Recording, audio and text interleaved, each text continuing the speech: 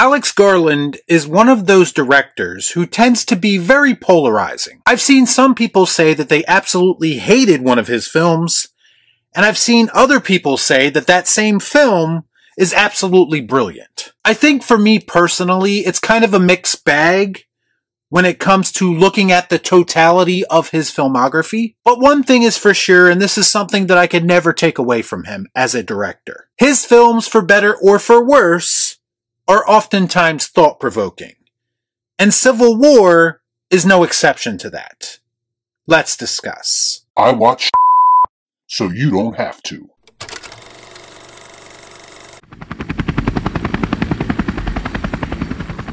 Before I get started, I'd like to kindly ask that you hit the like button and please subscribe to the channel for more content just like this.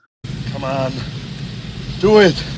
Do it! Civil War takes place in a dystopian future America, where a team of military embedded journalists race against time to reach Washington, D.C. before rebel factions descend upon the White House. So prior to seeing this film, I was already seeing reactions to it that were setting up red flags everywhere. I've already admitted that Alex Garland's films tend to be controversial at times. But I saw one reaction in particular that took it to a whole nother level and made me feel like this was a film that I needed to see personally, simply because of the way that some people were taking issue with it. And this reaction came from Scott Menzel on X, who said this Civil War is destined to be the most divisive film of the year. I won't say that it isn't well acted or directed, but this is definitely a movie that we do not need right now. Lots of problematic elements too, including the ending.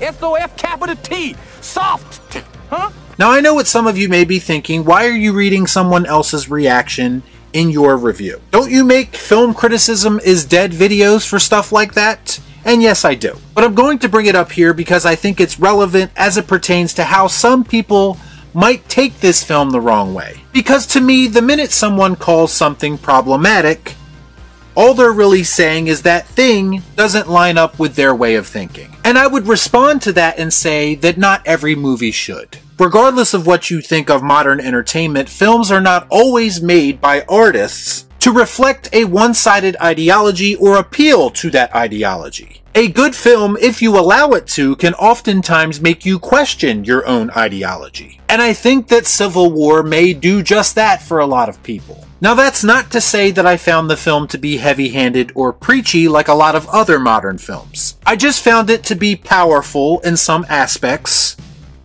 and I think that's going to make some people uncomfortable while watching it.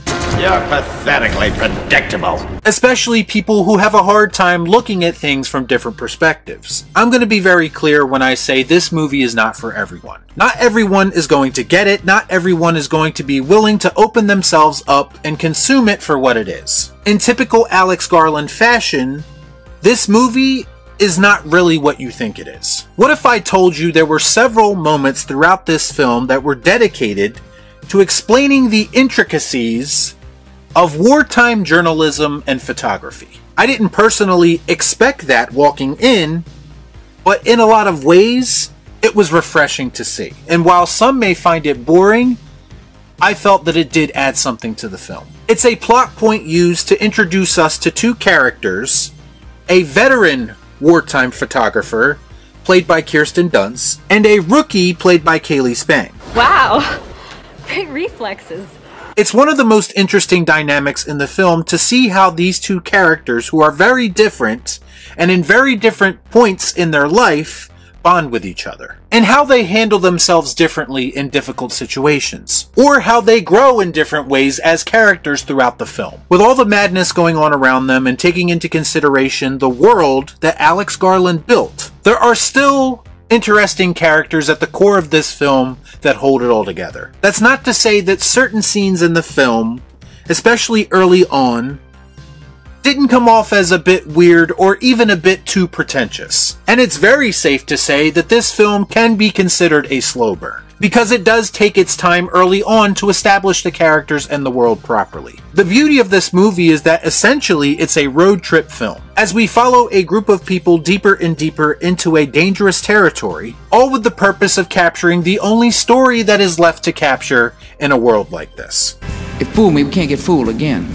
In a lot of ways, this film is a boiling pot ready to overflow at any minute. There are more than a few scenes in this film that will probably make people feel uncomfortable. And they should be made to feel uncomfortable because this is an uncomfortable subject. Alex Garland wouldn't be doing his job if you didn't feel uncomfortable while watching it. The truth is is that it's very unsettling seeing your homeland being used as a battleground. It's a warning sign of what could potentially happen to any country if unrest is left unchecked and people start to act on it. Granted, it's an exaggerated example, but it's still thought provoking nonetheless. The film is incredibly tense at moments. There's something to be said about how the characters, and the audience for that matter, are made to feel when you don't really know what's around the next corner. Ah, we're gonna die! There's one scene in particular that features Jesse Plemons, that you see in the advertisements for the film. And it's easily one of the more intense scenes that I've seen in a film in a long time. And the scene really gives you a sense of how far society has fallen at this point, and how people have been fighting for so long that they almost don't even know what they're actually fighting for anymore. And as far as the finale goes, you can guess the setting and you can guess the situation based on the synopsis. Now, this finale may hit a little bit too close to home for some people, and I get it. It's one of the biggest reasons why some people are calling it problematic, even though I don't agree with that. But when it comes right down to it, this whole sequence very much plays out like a tragedy to me. The ultimate symbol of a country and its people completely falling apart. And it's one hell of a shot war sequence on top of that. It really makes you think and it makes you put yourself in that situation and think, what would you do? I'm in a glass case of emotion! Now, I'm not going to sit here and say that I liked everything about this film or that everything about it worked for me, because that would be a lie. I think some of the ideas presented didn't quite land with me, and I did think that the pacing early in the film was a bit odd at times. But to me, when you look at Civil War in its totality, it's quality filmmaking through and through. Are some of the messages contained within it a bit too transparent and obvious at times? Yes. But in a weird sort of way, for a film like this, I actually think that works. Because to me, the concept alone calls for a more blunt approach. This is not a subject that you can approach with a ton of nuance. And Alex Garland, I think, had the foresight to understand that and crafted the film in a way where it's still asking some difficult questions. I totally understand someone not being able to connect with this film to an extent, but I do think that Alex Garland approached this heavy subject matter in an interesting and unique way. And even if it's a bit weird and strange at times, I think it's still worthy of being praised. And that's why I'm going to give Civil War the pleased Palpatine. Good. Good. Y'all be cool. Right on.